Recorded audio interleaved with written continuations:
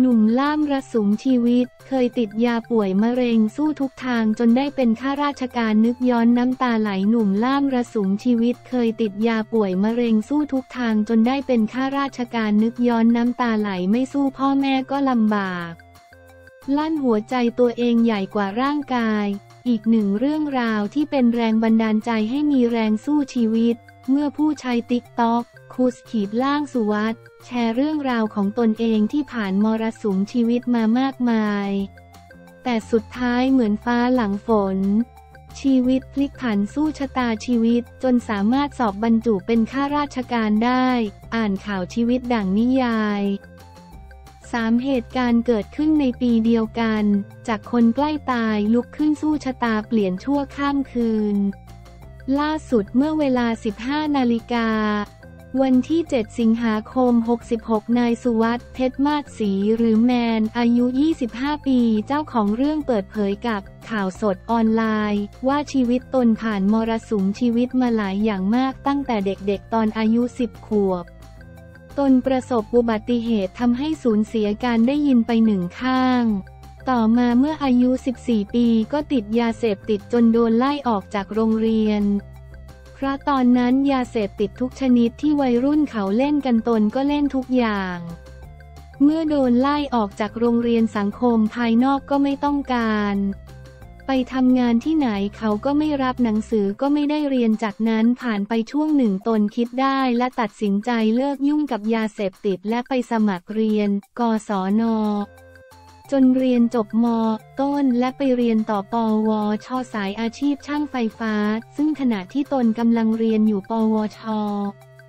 ชั้นปีที่หนึ่งก็เริ่มมีก้อนแข็งแข็งอยู่ที่แขนแต่ไม่เจ็บจึงได้ไปหาหมอโดยหมอแจ้งว่าเป็นแค่ก้อนเนื้ออักเสบไม่น่าจะมีอะไรมาก ตนก็ปล่อยมาโดยตลอดแต่ก้อนนี้ก็ยังอยู่ หลังจากเรียนจบก็หางานทำยากต้องไปเป็นกรรมกร ไปทำงานแบกไม้แบกปาล์มน้ำมันรับจ้างกรีดยางกับนาที่เป็นเท่าแก่ที่รู้ตนรู้จัก ซึ่งในระหว่างที่ตนไปทำงานรับจ้าง ก้อนเนื้อก็ยังอยู่ แต่ชะล่าใจคิดว่าร่างกายปกติจึงไม่ได้เอกใจและทำงานหนักไปในตอนนั้นจนกระทั่งเรียนจบผ่านไปประมาณ 3 ปี ตนก็ไปเกณฑ์ทหารและติดทหารช่วงระหว่างฝึกทหารครูฝึกก็เห็นว่ามีก้อนอยู่ที่แขน เพราะมีช่วงที่ฝึกมีการต้องถอดเสื้อด้วย จึงได้พาไปตรวจเมื่อไปตรวจที่โรงพยาบาลก็พบว่าเป็นเนื้องอกมาจากกระดูก แต่ตอนนั้นหมอบอกไม่ได้ว่าเป็นเนื้อดีหรือว่าเนื้อร้ายจึงได้ให้ปลดทหารและให้กลับไปรักษาตัวที่บ้าน เมื่อตนกลับมารักษาตัวที่บ้าน ทางโรงพยาบาลก็เอ็กซเรย์และทีซีสแกน ผลสรุปจึงออกมาว่าเป็นก้อนเนื้องอกออกมาจากกระดูกประมาณเกือบ 5 เซนติเมตร แต่ขณะนั้นหมอก็แจ้งกับตนว่ามั่นใจว่า 90%ไม่ใช่เนื้อร้ายแต่อีก 10%ให้ทำใจเผื่อไว้ด้วย จากนั้นก็ทำการผ่าตัดเอาชิ้นเนื้อออกทั้งหมด และนำชิ้นเนื้อไปส่งตรวจเพิ่มเติม และนอนรักษาตัวอยู่ที่บ้าน 1-2 เดือน โดยไม่สามารถไปทำงานอะไรได้ เมื่อผลตรวจออกมาพบว่าชิ้นเนื้อที่ส่งไปตรวจนั้น เป็นเนื้อร้าย เมื่อรู้แบบนั้นตนก็ตกใจ เพราะตั้งแต่แรกไม่คิดว่าจะเป็น หลังจากนั้นก็ส่งตัวไปรักษาต่อและทำเคมีบำบัด ซึ่งขณะที่รักษาตัวร่างกายตนก็ไม่ได้แข็งแรงมาก พอเดินได้ซึ่งตนคิดว่าถ้าป่วยแล้วไม่ทำงาน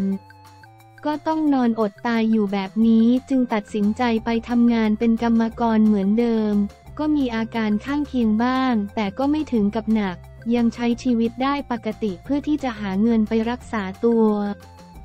ซึ่งขณะนั้นมีช่วงหนึ่งที่กรมสรรพากรเปิดสอบพนักงานราชการ ตนไม่ได้มีความรู้เรื่องของกรมสรรพากรเลย เพราะตนเรียนจบช่างไฟฟ้ามาแต่ในใจก็คือใจสู้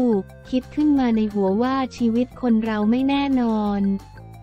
บางทีวันนี้อาจจะเป็นคนที่ร่าเริง ทำมาหากินได้ตามปกติ แต่ตื่นมาอีกวันหนึ่งอาจจะกลายเป็นคนที่ใกล้ตาย หรืออาจจะไม่มีชีวิตบนโลกนี้แล้วก็ได้ และนึกถึงพ่อแม่อยากให้พ่อแม่ไม่ลำบาก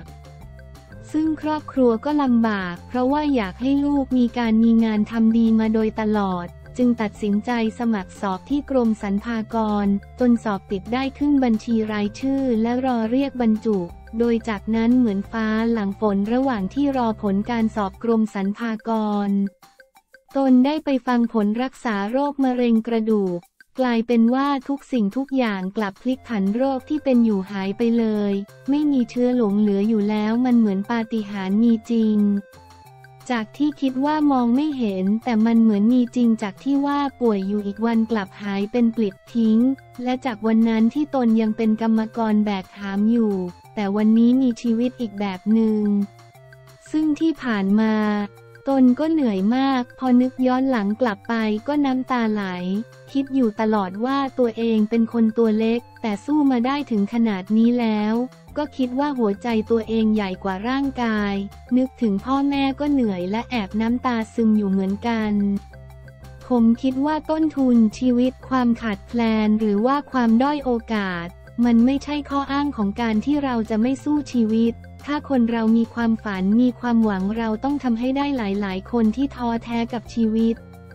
และมีความคิดที่ว่าครอบครัวไหนที่เขาเป็นข้าราชการก็จะได้รับข้าราชการกันทั้งบ้าน และเราเป็นลูกชาวสวนชาวไร่ก็จะได้เป็นแค่ลูกชาวสวนชาวไร่มันไม่มีใครเปลี่ยนตรงนี้ได้นอกจากตัวเราเอง นายสุวัตกล่าว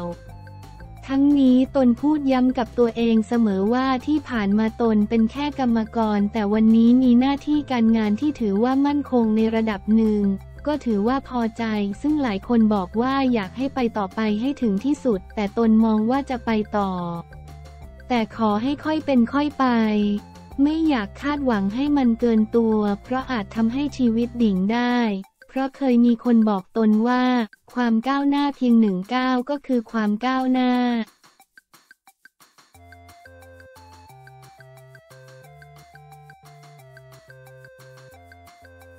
เสี่ย 70 เล่าจุดแตกหักเปย์สาวนาน 18 ปีหมด 500 ล้านพินัยกรรมก็ยกให้ช้ำไม่เคยได้ค้างคอนโดเสี่ย 70 เล่าจุดแตกหักเปย์สาวนาน 18 ปีหมด 500 ล้าน ขอแก้พินัยกรรมยกมรดกยังไม่เคยได้ค้างคอนโดเผยก็ว่าดูดีแล้ว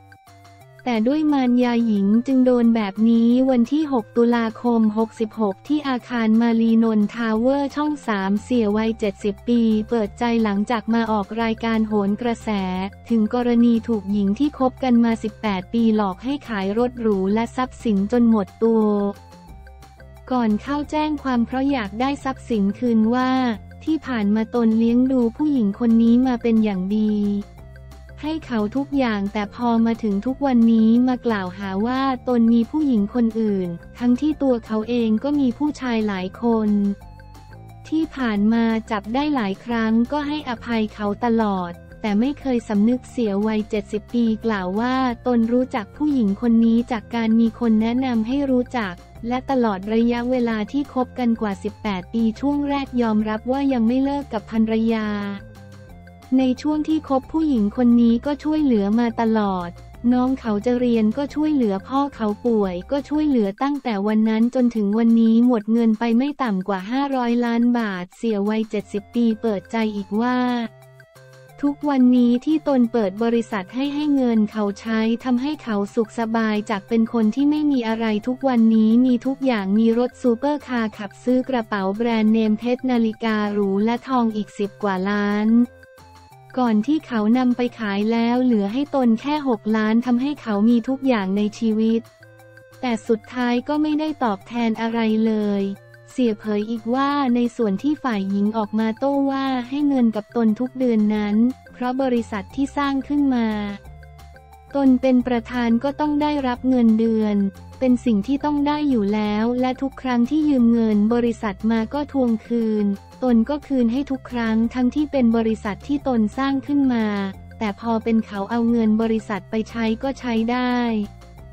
ส่วนในอนาคตบริษัทจะปิดตัวหรือไม่นั้น ก็แล้วแต่เขา เพราะตอนนี้ไม่เข้าไปยุ่งแล้ว ตนโอนหุ้นให้ไปหมดแล้ว ตอนนี้ไม่สามารถเข้าทั้งบริษัทและคอนโดได้แล้ว ที่ผ่านมาตนไม่เคยไปนอนค้างคืนที่คอนโดสักครั้ง